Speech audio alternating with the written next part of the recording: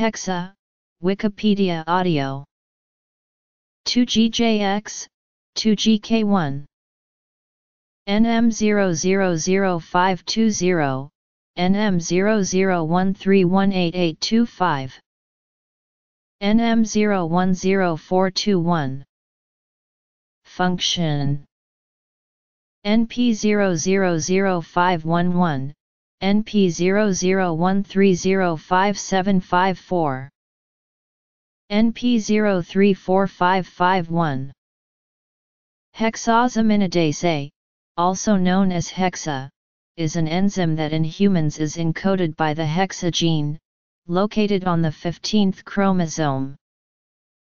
Hexosaminidase A and the cofactor GM2 activator protein catalyze the degradation of the GM2 gangliosides and other molecules containing terminal N-acetylhexosamines. Hexosaminidase A is a heterodimer composed of an alpha subunit and a beta subunit.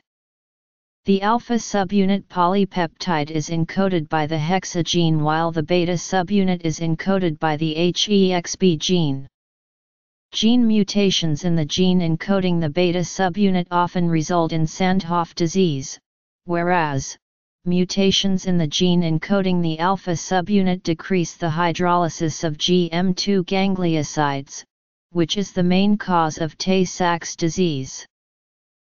Even though the alpha and beta subunits of hexosaminidase A can both cleave GalNAc residues, only the alpha subunit is able to hydrolyze GM2 gangliosides.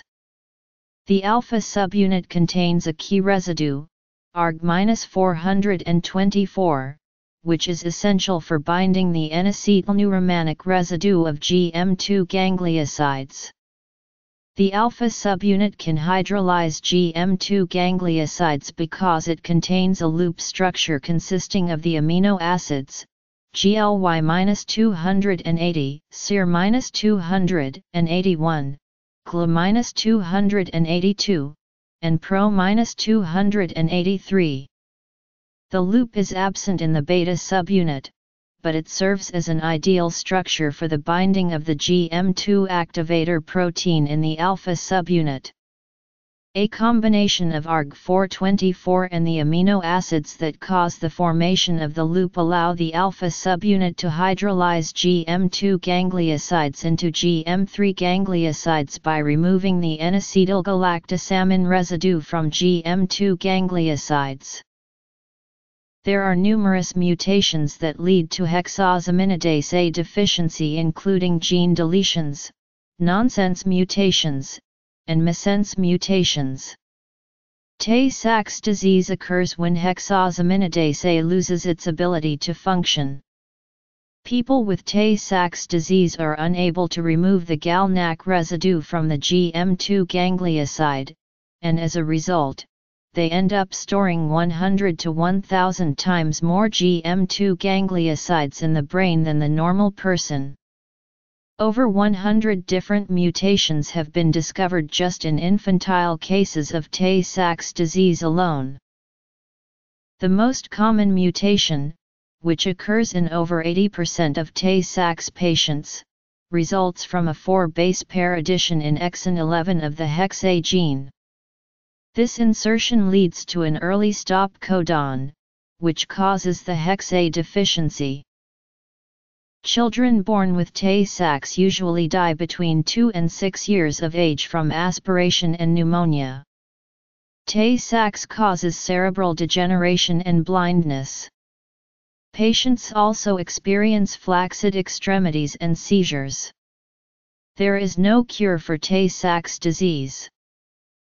The hexa gene is a protein encoding gene that codes for the lysosomal enzyme beta-hexosaminidase.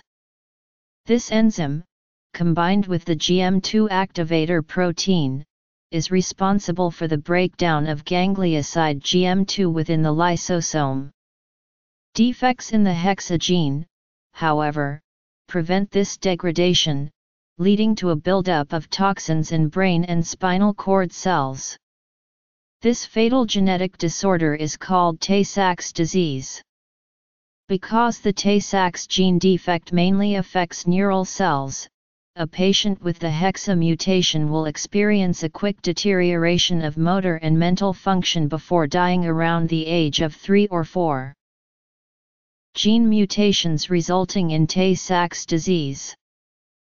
A knockout model, which is a mouse that has been genetically modified to observe the effects of inactivation of or damage to certain genes, found that the mice that were administered the hexa gene experienced many of the same symptoms of Tay-Sachs, with one exception, GM2 buildup was distributed differently in the brains of the mice than in those of a typical human Tay-Sachs patient. This model has allowed scientists to research gene therapies for hexa defects. One study, done on mice, successfully re-established beta-hexosaminidase levels and removed the toxic cell buildup by using a non-replicated herpes simplex vector to code for the missing gene. Gene therapies for Tay-Sachs